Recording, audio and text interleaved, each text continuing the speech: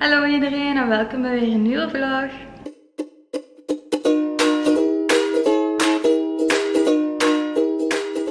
Maar vandaag is echt zo'n hectische dag dat je zo van het een naar het ander moet crossen. Ik weet niet of iemand dat kent, maar oh, ik heb echt nu zoiets van, oh, ik heb blij zijn als de dag voorbij is. Ik heb honger trouwens, dus ik ga even kijken om iets te eten. Alleen zomaar healthy shit. Dus ik weet niet, ik heb er geen zin in. Maar ik heb honger, maar ik ga ook wel eigenlijk eten. Ik ga nu vertrekken naar Ginkgo en Lanaken dat. Ik ga eten met Freya en Eva. Dit is mijn outfit vandaag. Ehm, de meeste oorbellen en kettingen zijn high-hearted. En die grote oorbellen zijn van Naked. Mijn topje is Zara. Mijn high-waisted short is van Totally Too. En mijn creepers zijn ook van Totally Too. Dus dit is mijn outfit. En dan heb ik nog een zwarte blazer voor als het koud wordt. Katjes zijn hier. Schatjes. Ze hebben net nieuwe speeltjes gekregen. Dus uh, maar ze zijn niet echt aan het spelen. En ook um, de eerste keren dat ze droogvoer van Edgar Cooper eten. Ik geef die nu meestal Edgar Cooper zo die patekens. Dat hebben jullie wel eens gezien in de vlog. Omdat dat ook heel natuurlijk voeding is. Ah, heel natuurlijke voeding. En de beste vezels en zo voor hen hebben. En nu hebben ze voor de eerste keer, ik denk de vis. Ik zal zelfs in de garages kijken welke ik heb gegeven. Maar um, ja, ze vinden het echt wel heel lekker. Want ze hebben toch wel goed gegeten. Dus ze hier. Kom hier. Kijk. Kijk hier. Hier. Pak het. Pak het dan. Nee? Kijk. Oh. Oh. Pak het. Pak het, mufke. Nee? Mijn katten spelen eigenlijk nooit heel veel. Ik weet niet of nog mensen katten hebben. Maar zo is soms. Maar die zijn nooit zo heel enthousiast. Ja, een melkje is aan het eten. Ja, dat ga ik niet lastig vallen dan. Maar die spelen niet zo heel erg veel, vind ik altijd. Ze zijn zo lui. Hier, Muffin. Deze vind je leuk. Pak die. Allee, jong. Kijk, dan gaat hij daar zo gewoon over.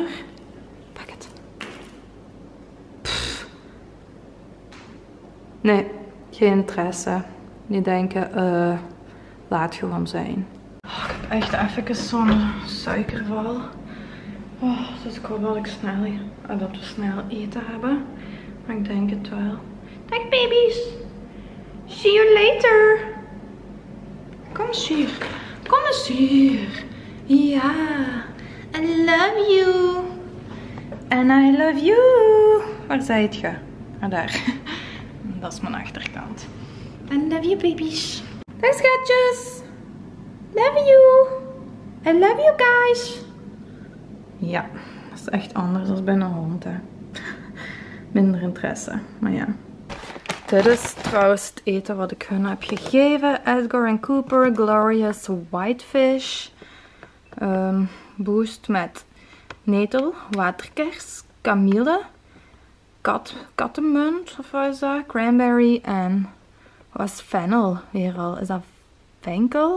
Ik denk het. Grain free. Dus uh, kijk goed, ik ben blij dat ze dat lusten. Ik heb ook nog de free run chicken. En dit is wat ik hen normaal geef. Ik geef altijd Britse kort haar. Uh, ik denk dat ik tussen dit wissel en tussen voor persissen. Maar op zich, ja, maakt dat niet zoveel uit, denk ik. Eten is eten, hè. Oké, maar nu ga ik vertrekken. It's time. En ik ga nu al vijf minuten te laat zijn, omdat ik een mail moest afmaken. Dus sorry Freya en Eva. Welkom to my life, hè. GPS even opzetten, want anders ga ik dat waarschijnlijk niet vinden, mij kennende. Ik rij echt altijd met GPS op is er iemand die dat zo niet doet. Tenzij ik, um, tenzij ik, ja, van hier naar mijn ouders zou gaan of naar Celine of zo. Allee, wegen die ik ken, dan doe ik dat niet aan. Maar anders wel. Oké, okay, let's go. Loka, loka, loka. Bebling, bebling.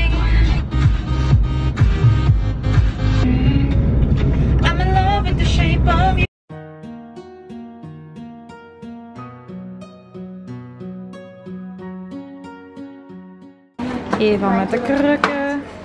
Eva, mooi. Laat je knieën zien. Wat had je gescheurd? Je meniscus, kruisband en meniscus. Nee, kijk tof. ik zit ondertussen terug in de auto, zoals jullie kunnen zien. Het was heel gezellig geweest. Het was fijn om nog eens bij te praten. Maar ik wou nog even iets zeggen. Want ik krijg heel veel vragen op Instagram en YouTube over dingen uit mijn privéleven. En ik heb besloten om sommige dingen gewoon privé te houden. Ik weet natuurlijk dat ik ervoor heb gekozen om mijn leven openbaar te maken. Maar uiteindelijk kies ik nog wel altijd wat ik openbaar maak en wat niet. En ik weet ook dat dat voor sommige mensen in mijn leven moeilijk is om bepaalde dingen, ja, om daarmee om te gaan. Want natuurlijk de mensen in mijn leven, zoals mijn ouders en vrienden of mijn lief of zo, hè, die kiezen daar niet voor. Oh, ik denk dat ik op het scherm ben. Ik hoop dat jullie mij nog zien. Maar die kiezen daar niet voor om in de spotlight te staan natuurlijk. Oké, die weten wel waar die aan beginnen, want dat is mijn leven. Maar langs de andere kant, zij hebben daar niet voor gekozen. Dus ik wil gewoon op dat vlak gewoon een beetje meer privé houden en sommige dingen gewoon meer ja, voor mezelf houden. Ook omdat ik, uh, ja, als je door moeilijke tijden gaat of, of er gebeurt iets in je leven of zo, dat is al moeilijk genoeg. Maar laat dan staan, dan moet je dat ook nog eens gaan vertellen aan zoveel mensen. Dan maakt het alleen maar erger. Dus dat zijn ook dingen die ik niet meer wil meemaken. Ik weet dat ik daar heel open over ben geweest. En ik ga nog altijd wel proberen open te zijn over veel dingen. Maar sommige dingen ga ik denk ik gewoon een beetje meer voor mezelf houden en niet meer te veel delen of zo. Want dat legt wel een bepaalde druk op mijn leven natuurlijk. En ook, ja, alleen, de meeste vriendschappen zijn die, die als je nieuwe vrienden of vriendinnen leert kennen, ja, dat gebeurt in privé dingen. Maar bij mij is er al heel vaak van hier de camera erop, Instagram stories, Instagram posts en ja, dat is moeilijk. En zo is dat ook in relaties. Als je dan direct zo erin gegooid wordt, voor mij is dat normaal en dat is mijn leven. Maar voor sommigen is dat niet normaal. Zoals bijvoorbeeld mijn ouders of zo, ja, die willen ook niet dat ik de hele tijd hun film of hun laat zien. En mijn zus is ook niet heel hard allee, bezig. Die is wel bezig met social media, maar die kiest daar ook bijvoorbeeld niet zelf voor om in de spotlight te staan of zo.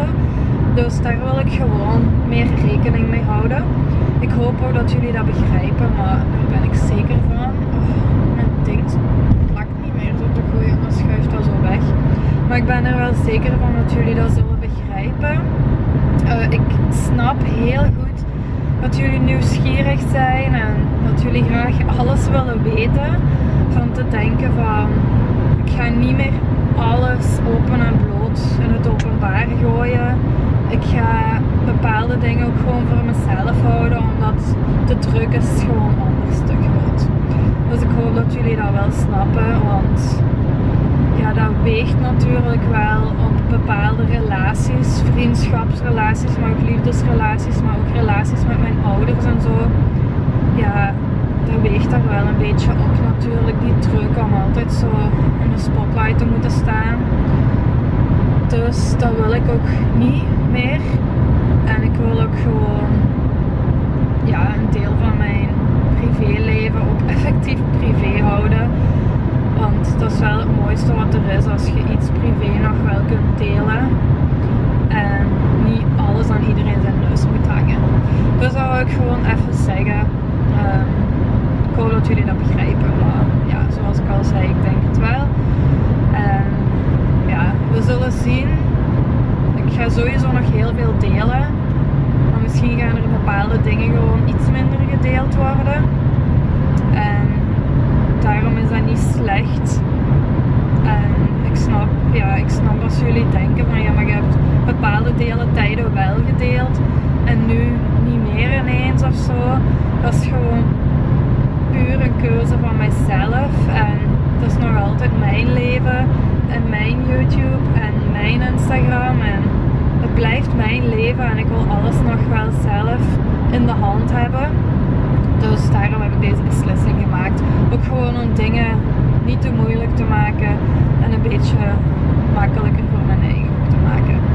Dus bij deze heb ik dat gezegd. En uh, ja, ik ga sowieso blijven vloggen en ik deel sowieso wat ik wil delen. En dan zullen we wel zien hoe dat verder verloopt. En uh, ja, ik hoop gewoon dat jullie daar begrip voor hebben. Ik ben ondertussen terug thuis. Ik heb mijn make-up afgedaan. Mijn skincare gedaan. En nu ga ik even mijn bed overtrekken. Want mama heeft mijn lakentjes gewassen. Alleen mijn zonsоvertrek ga ik niet doen, want er is veel te warm voor. Ik slaap alleen over dat laken. En ik heb hier, als jullie dat zien, al mijn kleden voor morgen klaargelegd. Dus dan hoef ik dan morgen vroeg al niet meer te doen. Morgen vroeg heb ik een fotoshoot, uh, een videoshoot de hele dag voor Bella Pierre. Want onze nieuwe make-up box is uitgekomen. Ik zal hieronder in de beschrijving een linkje zetten naar onze twee boxen die er al zijn. En uh, ik krijg die niet te. En ze zijn echt heel mooi. Ik ben er echt super blij mee. En de roze is nu uitgekomen en dat is echt mijn favoriet. Dat is echt zo mooi. I love it. En morgen gaan we een paar video's opnemen daarmee. Oei, mijn steen is weg. Ah, nee. Trouwens twee stenen met kristallen onder mijn kussen liggen. Deze en deze. Dit is een Afrikaanse jade, of hoe zeg je dat? Jade, jade geschreven. En deze is goed in emotionele periodes.